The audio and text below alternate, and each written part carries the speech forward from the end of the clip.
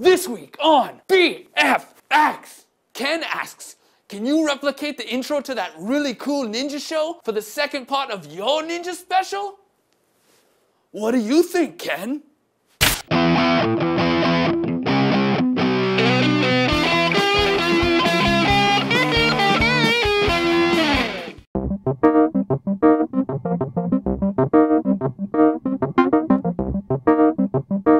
So last week we showed you how to make a ninja costume, snap someone's neck, and do a wall run. This week we're gonna show you how to make some ninja weapons. Ninjitsu Gary, spin the wheel of ninja prosperity.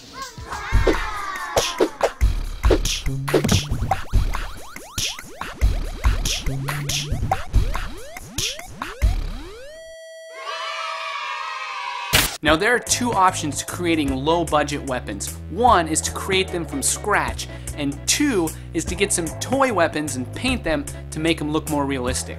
I personally prefer the second choice, but I'm gonna show you how to do both. So when we're done, we'll have two low budget katanas and two sets of bargain throwing stars.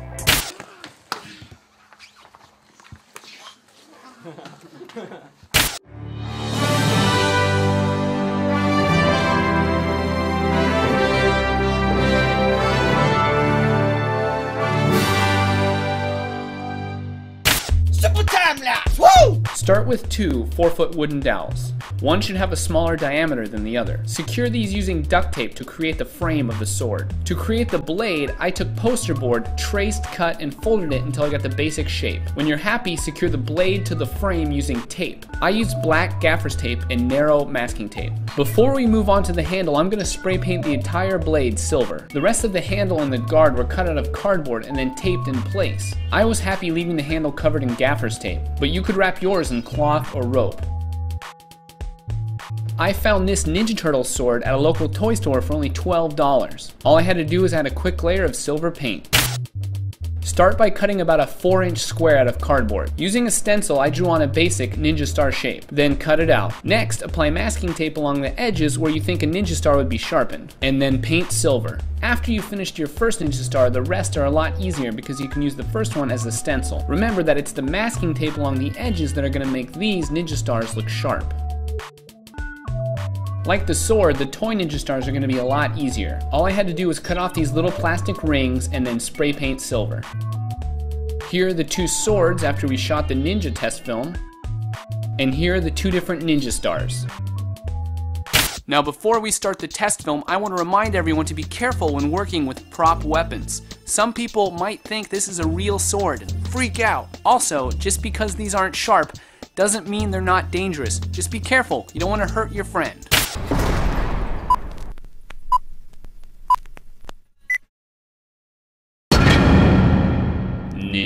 Ninja versus Bill.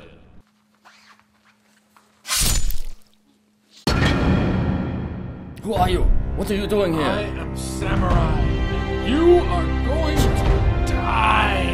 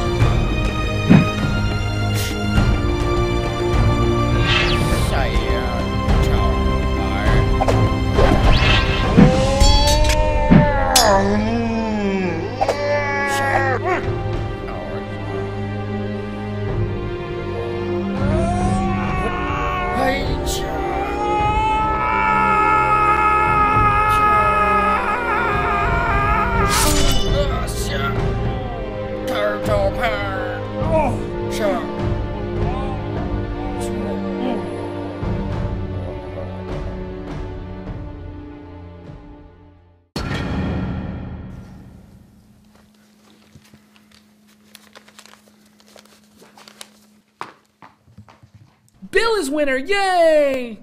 By a show of hands, how many people out there want to help out Indy Mogul?